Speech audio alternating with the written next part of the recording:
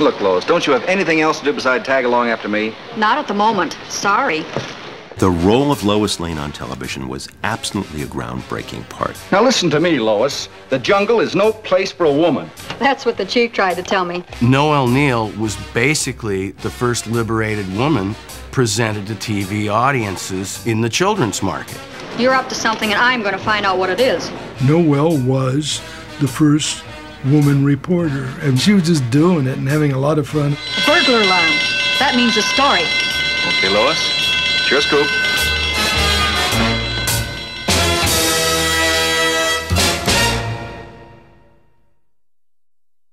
In 1953, uh, the second season of Superman, the first season had just begun to air, and there was uh, a question whether or not Phyllis Coates was going to return as Lois Lane.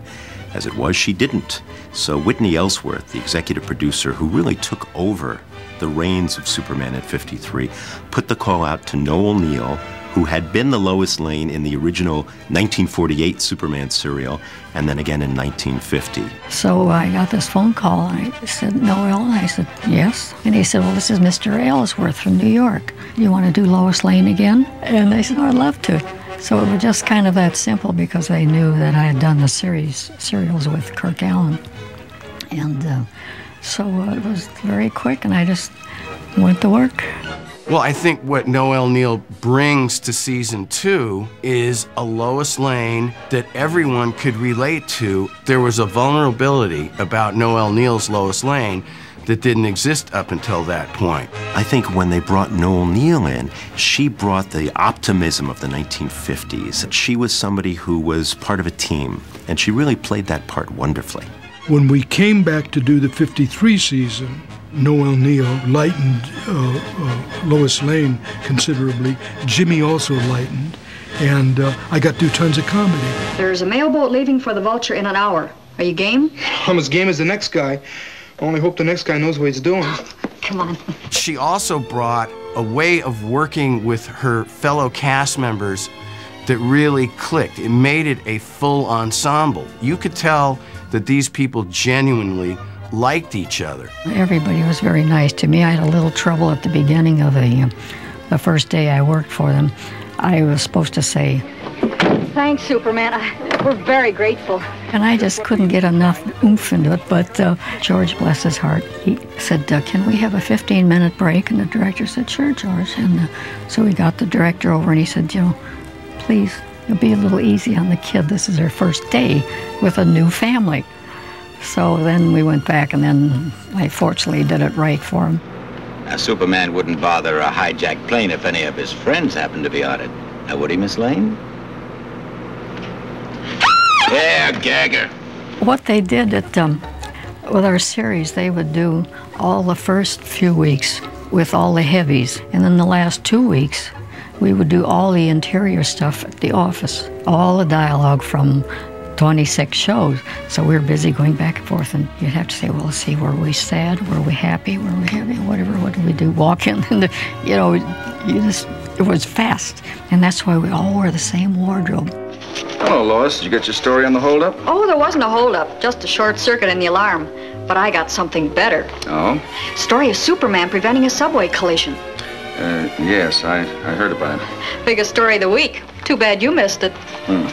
I was always trying to get the story ahead of Clark Kent. I think it was just that uh, she was the only girl and had to really hop to it to beat everybody out or get a story.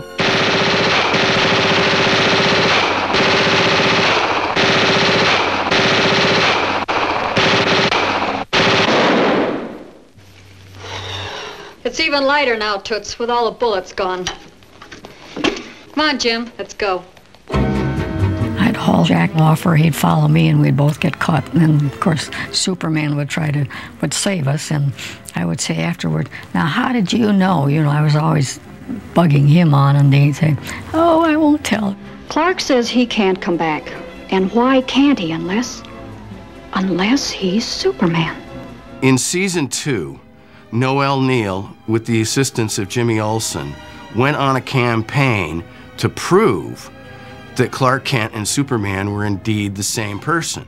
Oh, no, he just couldn't be.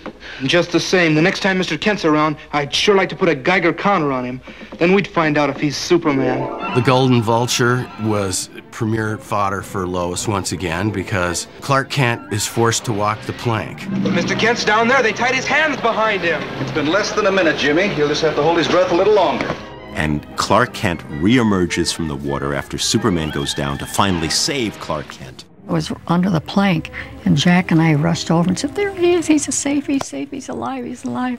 He said, Oh, by the way, hey, Lois, give me a hand? So, you know, I did. And he pulled me in the water, which I didn't expect. What Noel doesn't know that she ended up in the water was that I refused. It was me that was supposed to go in the water. She concludes that no, me thinking about you being Superman was completely off the track.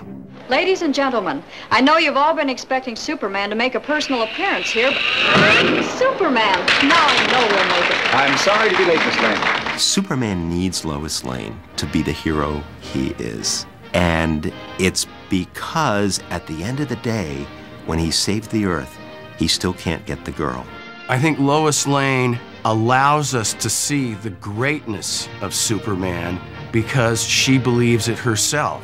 I think Noel, uh, with her cheerfulness and buoyancy as a newspaper woman, absolutely was an icon for young women who wanted to become reporters later and are all over the place now.